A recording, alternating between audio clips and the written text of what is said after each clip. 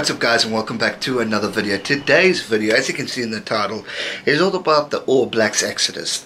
Now obviously I'm talking about the players who are scheduled to leave after the Rugby World Cup. Now the Rugby World Cup is the greatest time of the year, but shortly after the World Cup is not because we face a situation where our favourite players, our old guys, tend to leave to go further their career overseas, be it in France or England or Europe or even Japan. Why do they do it? Because the money's there, offering big portions of money to these fantastic rugby players. And one thing I've always respected the All Blacks rugby whole system is that if you want to play for the All Blacks, you've got to play in New Zealand. I've loved that rule, I've respected that rule because it, it encourages you to play for your provincial level, it encourages you to play for the badge more, and at the end of the day, you're not playing for money because money sometimes changes a player. It allows them to become more arrogant and maybe miss opportunities because all they think about is the green dollar sign or whatever it may be. So for me, it, it, it, it's it's a great system in place because if I look at South Africa, half the Springbok squad is pretty much in Europe playing their professional sport. Now they go there because of better opportunities, and unfortunately in South Africa, with our exchange rate, it's it's wise for them to do that because they earn a hell of a lot more money than what they earn in South Africa. So I don't begrudge these guys of doing it, but um, I, I believe in playing for your your school level, club, provincial, go to the international circuit. I've always believed in that. You want to play for your country, you stay in your country and develop and grow like that. But again, we all have different opinions on this. Now, the reason why I've chosen the All Blacks is because they're a fantastic example to to learn from as other that other nations could learn from. Why I say that is because of the depth within the All Black squad. They have absolutely outstanding players from all the provincial levels, which is absolutely amazing because not everyone can produce such great talent. And um, because of that, we you've seen the All Blacks dominate world rugby for so many years because of all the systems in place which is fantastic to note and a good thing because they've never folded or failed. Now, there's a lot of talk of this year because you lose. There's talks of Beauden Barrett going, Kieran Read's gone, uh, Brodie Retallick might be gone, Aaron Smith, um, Liam Squire's just confirmed he's going after the World Cup, and a few others to name, Sonny Bill Williams even. So those are fantastic rugby players that are going, but cr- where credit for the All Blacks is that they are already producing new boykies coming through, and that is amazing. Damian McKenzie's, I mean, Umaga, I mean, there's great talent. TJ Perenara is scheduled to stay, and we'll get to that in a bit. But for me, this isn't a threat to New Zealand rugby because we've seen them lose players from 2015, 2011. I mean, Richie McCaw was a massive loss to the All Blacks, but they've recovered they've developed, they've progressed, and they've achieved brilliant success under Kieran Read as well. So it hasn't been the end of the world losing fantastic players. And because of the systems that are in place in New Zealand, they are able to develop fantastic rugby players. Now, obviously, losing a guy like uh, Beauden Barrett is a massive loss, but it gives a chance for Richie to come in and take over. You've got Aaron Smith, who do you replace? TJ Perenara. Develop the next upcoming scrum half who can take over from TJ when he ends up. And that's the process that's going on. You see it with the, the Chiefs, the Highlanders, the Hurricanes, the, the Blues, the Crusaders, all the New Zealand teams are creating freaking brilliant rugby players who are able to do it. Now, obviously, we've seen situations where all black rugby players go over and then come back. Um, Ma'a is a good example of that.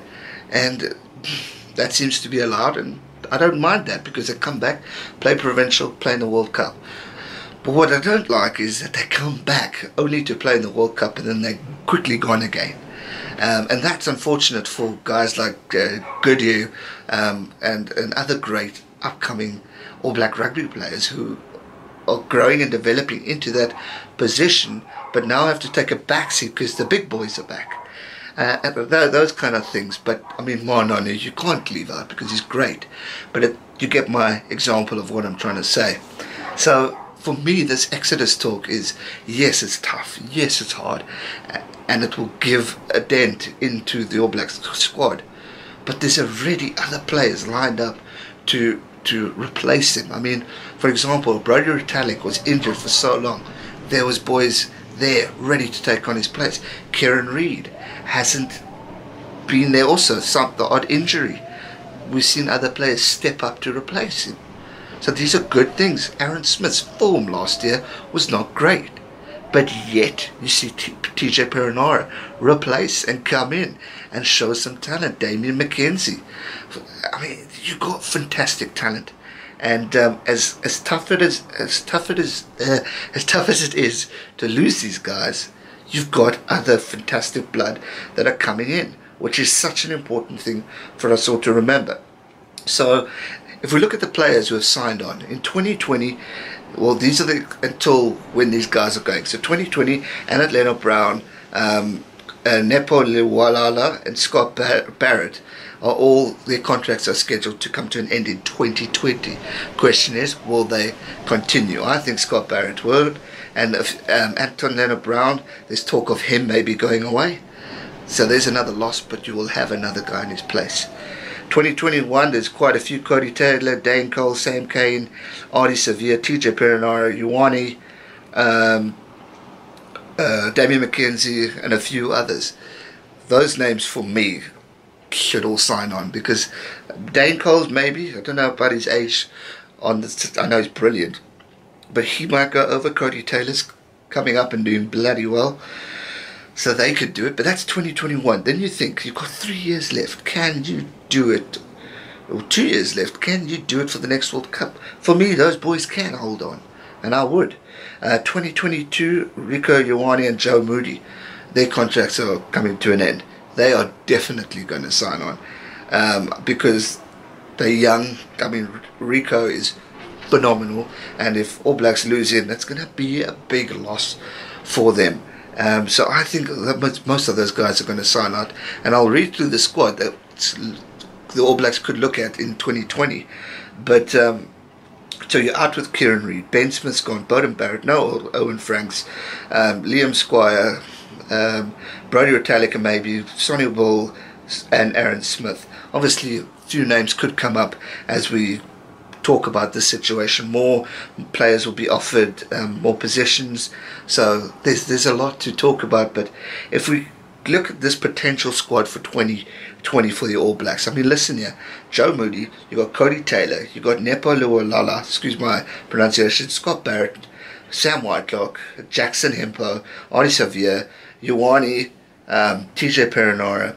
Richo Mo'unga, sorry, Richie Mo'unga, Rieko Ioane, Anton Lienert-Brown, if he obviously continues, um, Jack Goodhue, I mean, I just mentioned him earlier, George Bridge, Jordie Barrett. Then you've got some guys as well, Dane Coles, um, Big Carl, the Damian McKenzie, Ngani, and so on and so on. So there's fantastic talent there, and that's why I say I don't think this is a threat at all for All Black Rugby. They've had the situation before where they've lost the, the Richie McCaw era. Then this era grew. Yes, there's been ups and downs, but hello, they're still number one in the world. They have not lost that position. They have not looked like a weaker team. They're still one of the favourites for the world if not the favourites for the World Cup that's just coming up later this year. They're still favourites to win the championship again. They continue to show improvement and development. Again, yes, they've lost to Ireland.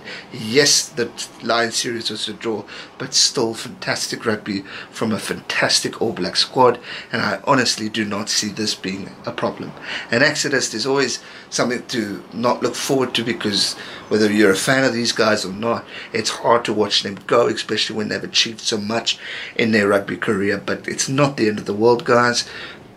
There's a, a light at the end of the tunnel, and there's fantastic talent within this All Black squad that will be here for the 2023 World Cup. And we'll probably be talking about this again in four years' time. Exactly saying these youngsters era is is going, and now who's next? We will have players. It's not the end of the world. This All Black squad is still going to kick ass no matter what. So just wanted to share my thoughts on it because it's definitely all over the news when you talk about All Blacks, um, Liam Squire leaving about I think it was a week or two ago, and etc. etc. It happens. We don't like it, but this team will recover. They've done it before. They'll do it again.